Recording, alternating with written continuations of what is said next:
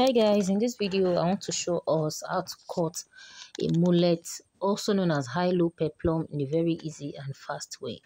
Your fabric or pattern should be unfold like so. Then in the midpoint you'll be using the measurement of your top that is the desired measurement or the length of the peplum that is what you'll be using to determine the size. So usually in this case, the front is always shorter than the back. Then on your fabric from the beginning of your pattern on your fabric. So assume this is where my fabric will be starting from. So from the starting point of your fabric or pattern like this, you will measure the front length. Okay, your desired front length, you'll measure it like so. Here I will be using 11 inches.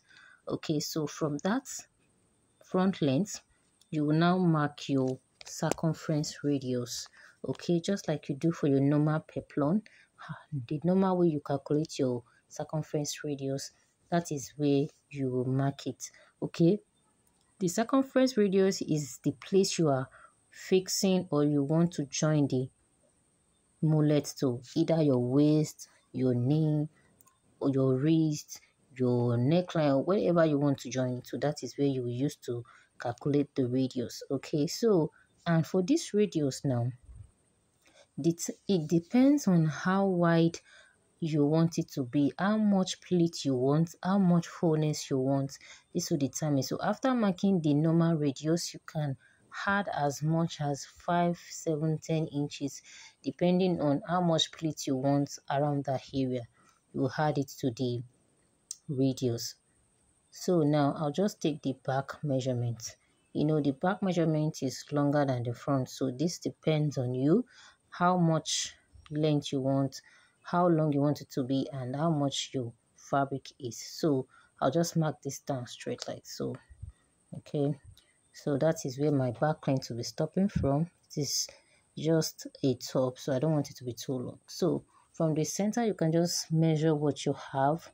This is what you use to measure around because you will need to connect the edge of the peplum okay? So from your hold radius you can determine how much inches you want to add. So me i'm using one inches then i'll connect it from the center like so back to the new measurement. And that is my new radius line okay? That is where i'll be cutting from. So from this now i will have a little bit of plate. So then I'll confirm my measurement. So my new measurement for the back is now 14 inches. Okay, so now to now connect the edges because I'll have to shape the edge back to the center, that is the side. Then I'll measure from the center like so to where my measurement stops and have a little bit of curve shape, just like we do for our normal peplum that's how you do it and you connect it back to the center line okay? So and as for the front you repeat the same process okay? So this mullet or high-low can be used on any kind of dress. Even in bridals they make use of mullets okay? And then to have a structure a standing mullet you have to add a crinoline mesh or an interface, anything that can make it stand on its own. That is what you will add to it to make it stand. So at the back, I'll be fixing the zipper. Remember I said this is going to be on a top, okay? Because normally the back, it can be like that. And most time, mullet is always open at the front, okay? It's just going to be on the waist and sometimes it is always detachable okay? So but in this case it's not going to be detachable. I'll be fixing a zipper at the back. So after cutting i'll just open the back because of the zipper allowance.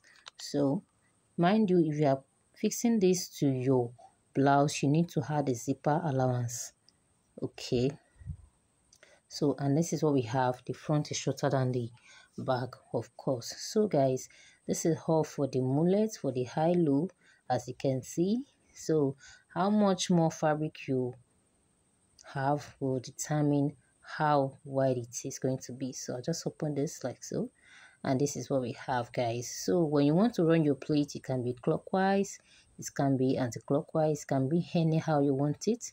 You can run a kissing plating or box plate whatever you know it as. Okay so that's a haul for it and as you can see we have a high low peplum already.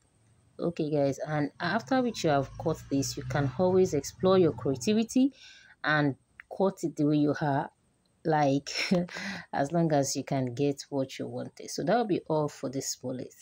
Thanks for watching